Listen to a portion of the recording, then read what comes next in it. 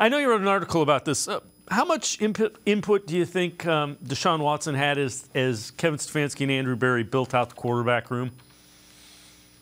Yeah, I mean, I just don't think it's a, a, coincidence that he's got two really good friends and two people for his support system in the quarterback room in really longtime good friend Joshua Dobbs, who he's trained with since high school, and then another really good friend in Dorian Thompson Robinson, uh, who he's trained with a lot over the last four or five years out at um, out in LA when they're out there together.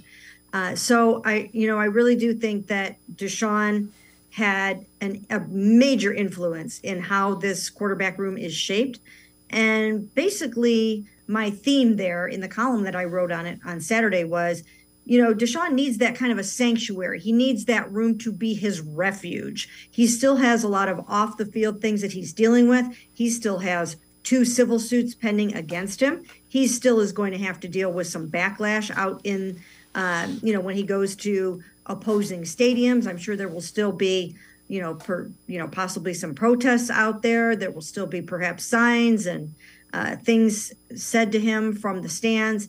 And so I do think that, you know, they want that room to be really a place of, of calm and of friendship and, you know, good, healthy competition. Uh, and a lot of crossover in terms of skill set, but also guys that are going to 100% support him. Yeah, uh, uh, and, and, it makes sense because if the Browns are going to get where they want to go, Deshaun Watson has to be uh, the best version of himself. Absolutely. And, you know, there is a whole psychological aspect to this game of football. And I think the Browns are playing it. I think that they are, uh, you know, really taking a lot of those things into account. And um, and again, if if Deshaun Watson did not want a quarterback in the quarterback room with him, a particular guy, I don't think that guy would be in there.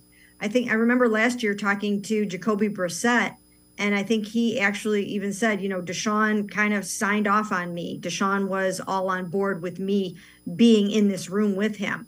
And, um, you know, and I think that's important. And I, you know, it, it may be something that flies under the radar a little bit, but I think it's really something that, that they are, are doing and they are, are being very intentional about it.